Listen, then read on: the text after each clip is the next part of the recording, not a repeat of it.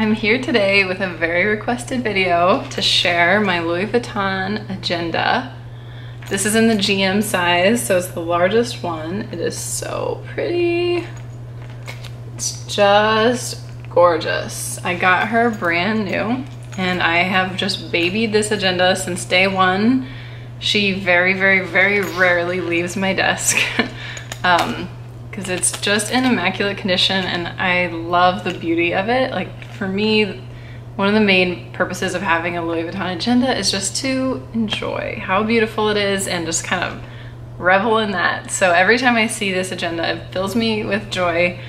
And I, you know, it's almost like a piece of decor. Like it, it really lives on my desk and it's just so gorgeous. So I wanna go through that today. Everybody has been requesting this ever since I did my um, video on my Louis Vuitton Agenda MM, which is the medium size, which is what I use as a wallet. So I'll link that video down below in case you didn't see that. But yeah, since then everybody's been wanting to see this. And to be honest, the delay was that I've kind of been switching over to doing a little bit of like digital planning, if you will, um, using my phone for more stuff. So I just kind of wanted to wait till I had that system ironed out to share this with you and I feel like I do now. I feel like everything's working really well between balancing this, which is something I love and just want to use constantly but don't always have with me. Whereas this, I have it all the time, but I don't enjoy digital planning as much. Like, I love writing things down. I love crossing them off. I'm just, you know, a planner girl at heart. So honestly, I kind of resisted digital planning because I was like, it almost felt like a betrayal of planning, which I've just loved. I mean, like I've gone through all the planner crazes of like Erin Condren, um, Day Planner, is that what it's called? Day Designer, and everything, Happy Planner, everything else. Finally wound up with this and I have finally found planner peace because uh, this just is a perfect solution for me. It lets you customize everything, which is awesome because um, you can just, it's a three ring binder and you can put whatever you want inside. So yeah, I'm gonna switch the camera to uh, bird's eye view so you can see more close up. I just wanted to say, basically pop in and say hi first because sometimes I'm watching planner videos and it's just like floating hands and I'm like, who am I talking to right now? So basically I just wanted to say hi. But first, um, yeah, okay, before I switch over, I'll show you what I do on my phone. Unless this angle doesn't work, we'll see. But basically, since I do have this everywhere, I use it for my calendar, which we use Google Calendar, so like my husband and I can share.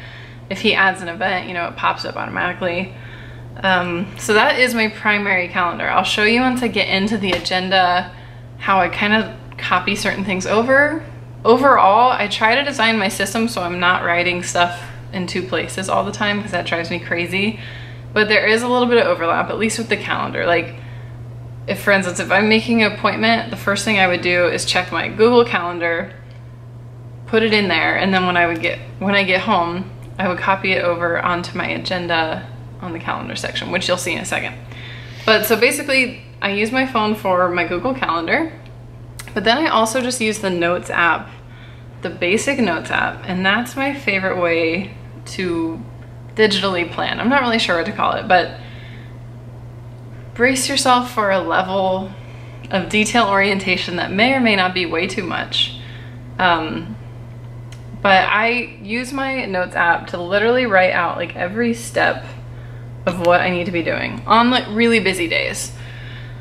Really busy days. Like I'll plan ahead and I'll write out like 8.15, feed the dogs, 8.30, walk the dogs, 9 o'clock, gym. And I'll literally just write it out like a list like this. Like it's not cute, it's not pretty, it's not pleasing like everything I do in here is, but it's just easy. If I'm on the go, if I have a busy day, because like I said, I work from home, I'm always running around doing errands. This is like a simple little Bible for me. And then as I go, I just literally delete things out of this note. So at any point in the day, I can just open this up, see like, okay, I need to be doing this. And then as soon as it's done, delete it. Okay, time to do this. And that just really works for me. I don't do it to that extreme level all the time. It's just if I have a packed day or a packed week, I will time it out on a note. I don't know how weird that is. That's just the system I've kind of come up with. Now the other planning things that I have in here are, I'll have a long-term, okay, I call that first thing my life plan. I don't know if that sounds cheesy, but um, that's my like life plan and that's how I just check in like, okay, what's happening now? Then I have my long-term life plan, which I kind of break it down by the month. And I have in here like just general notes. Like if I want to remember like clean out the storage space in August, I'll just jot it down in here. And then when it comes to August and I'm planning August, I can just consult like, okay, we want to have a beach bonfire party this month. I, Nate has to go to the doctor this month, blah, blah, blah. And I'll transfer it over to my agenda. This is like basically a brain dump so if I just have something in my mind like, oh, I can't remember, I have to remember to schedule Nate's doctor's appointment in August, I can just jot it down here. When August comes, I know to check this list. So there's that.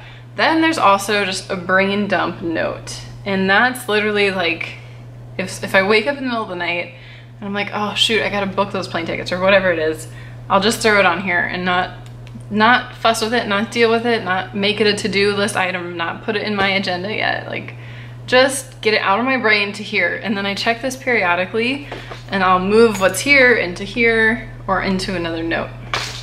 So that's how that works for me. And then the last thing I do on here is my to-do list, um, which again, I just literally cross, like delete things as I accomplish them. But I prefer to have my to-do list in here, which you'll see in a second. But if I'm on the go, like if I'm in line and I have 10 minutes to kill, I can check this and be like, oh, okay, I need to call the insurance. Maybe I can do that while I'm waiting or something. So this is kind of like my on the go to-do list and you'll see how it interacts with that to-do list. But I just want to show you those things first um, because this is the digital side of it and now we can get into the fun part, which is this beauty. Okay, so here she is, so gorgeous. This um, planner charm is from Michaels. And I just like to put as much cute stuff on my agenda as possible. as you see, right now I have a Disney theme. It is the happiest place on earth and it makes me so happy. So it was just kind of a no-brainer that I would theme my agenda this way and open it up and see all this. But I do have plans for other themes I want to do, so this is just kind of where I'm at right now. But this dashboard I made by printing the photo on photo paper um, laminating it, which I have to say, getting a laminator is like the best investment I could have made as a planner girl. Like, whoa, such a game changer. I love it. It's so funny. I was like asking my husband, like, do you have anything I can laminate? Like, it's just so much fun. But anyway, I printed this photo, laminated it, and hole punched it. I made this little protector out of like kids craft foam. Um, see these like ring indentations I think it's really helping to protect my planner. I do have a tiny bit of indentations, but they would be like that, you know, severe. And I don't mind the look of it at all. I got just pink, like I'm telling myself it's Louis Vuitton rose ballerine colored. But basically you just cut it into a rectangle and then you cut another rectangle and pop it over this. So that has worked really well for me. And then over here, I've just got lots of cute Disney stuff. These felt clips are all from the same Etsy shop. That one is Cinderella.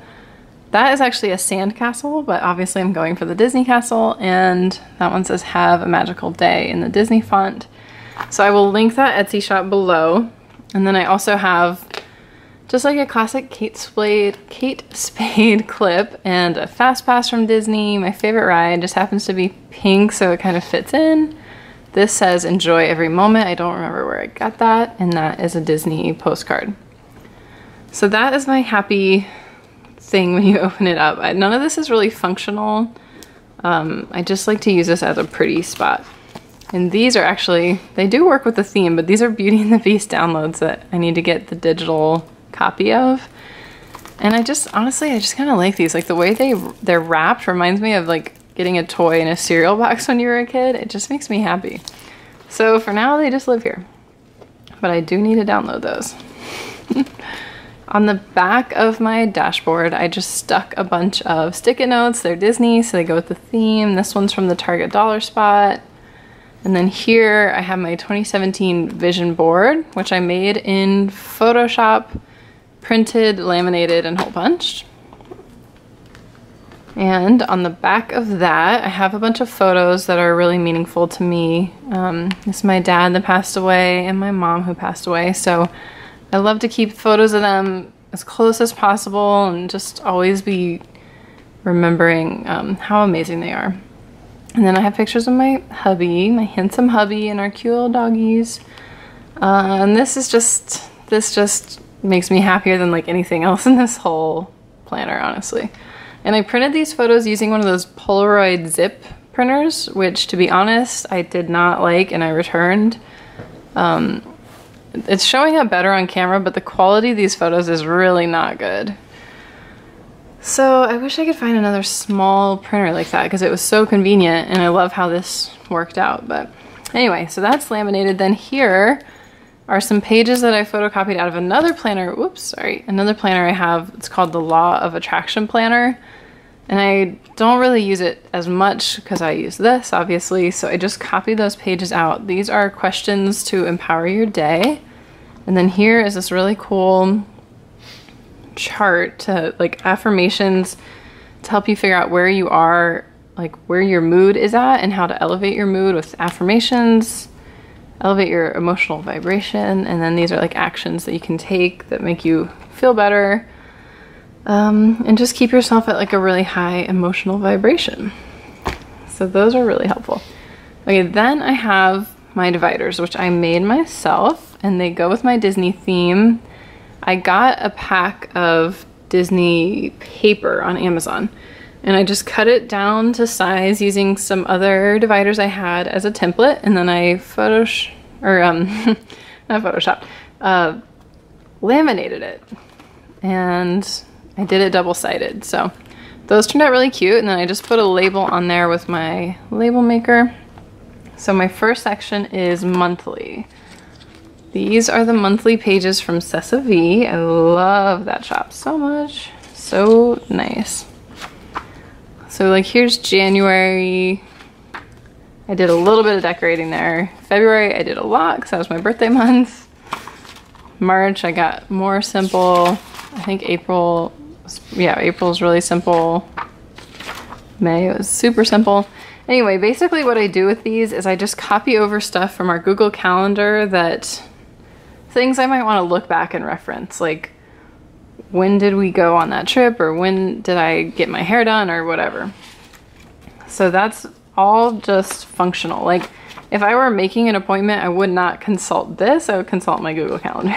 this is more for referencing back like anniversaries, um, goals, stuff like that. So that's my monthly section. The next section is daily. And these are cute Lady and the Tramp paper, part of my divider set I made. And so here, okay, here are weekly pages from Cesa V. This one, I don't have one that's filled out because I haven't filled one out for this week yet. But basically I just write in the dates and this is like my weekly overview where I put what day I have like any major appointments, any major plans. Sorry, I keep knocking the camera. But anyway, so this is where I would put just any major appointments I have or big plans. Um, so I can kind of see at a glance like, okay, Thursday's a less busy day, Monday's a really busy day, blah, blah, blah. Uh, one thing I don't like about these is the water droplets. Like who, who really tracks their water in their planner? I don't know. I never have. But then I've got this today divider, which is off of Etsy. And that kind of separates my weekly from my dailies. So I have, okay, this is the only one I have filled out right now. But these are from Cesa V as well. And there's like two little sections that you can make a to-do list and a section for your daily calendar or whatever um, and notes. So that is really helpful for me. Basically, I don't use this every single day, but if I'm having a day where I'm gonna be sitting at the desk working for the majority of it, I would definitely use one.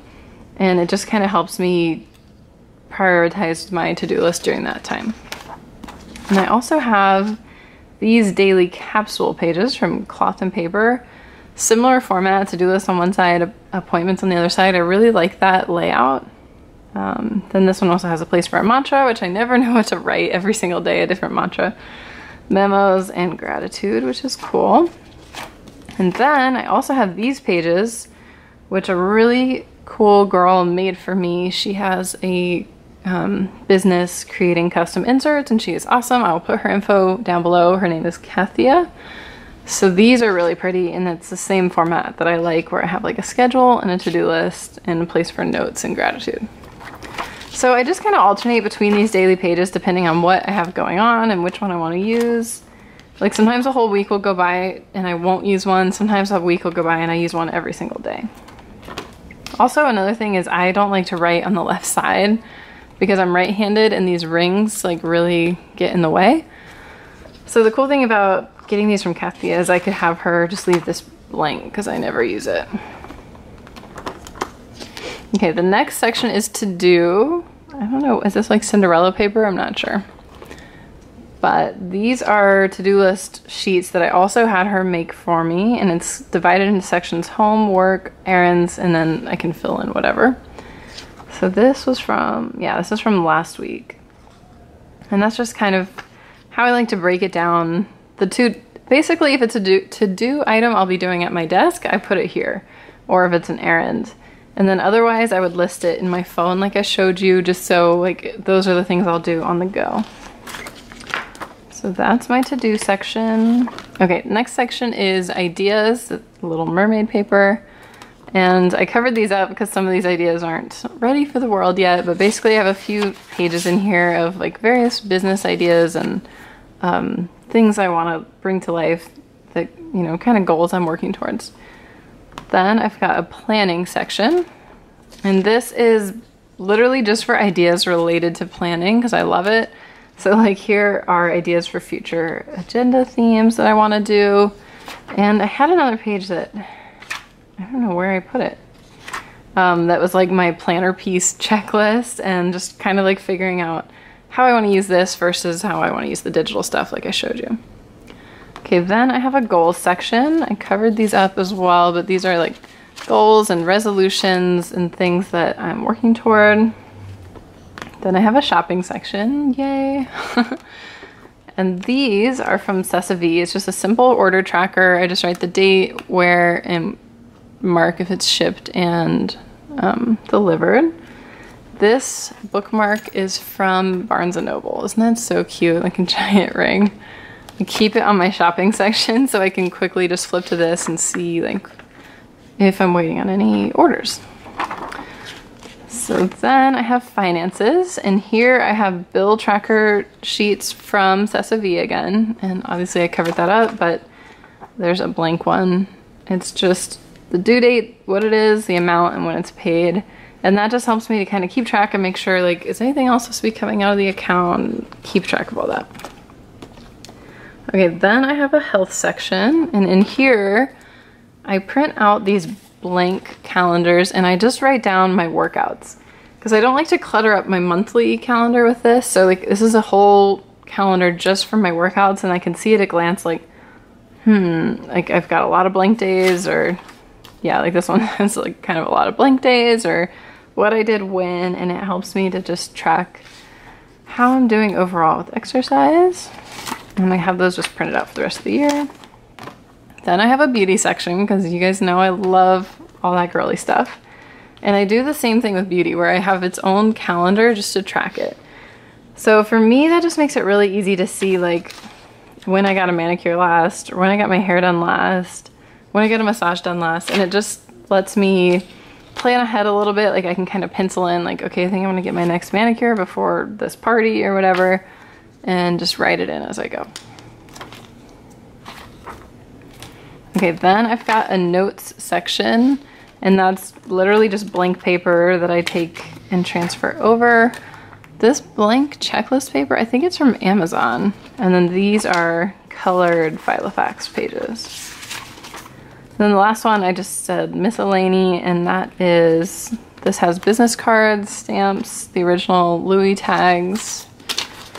And then I have this pocket of stickers, which I don't use a lot as you saw.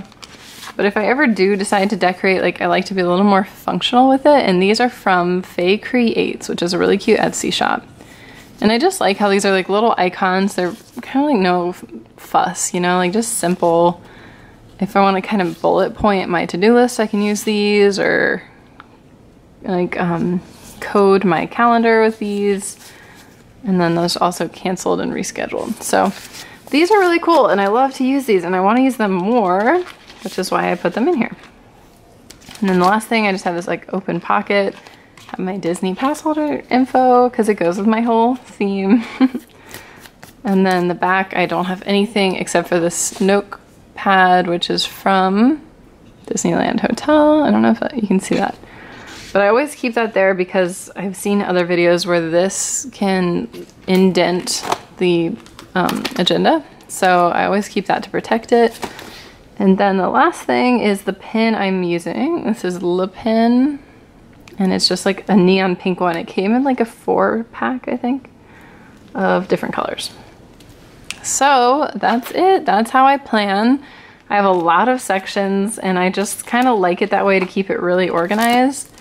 And I will literally just write lists and lists and lists and put them in the appropriate section. And then I just know like, okay, that's written down, like uh, that can be released from my brain now.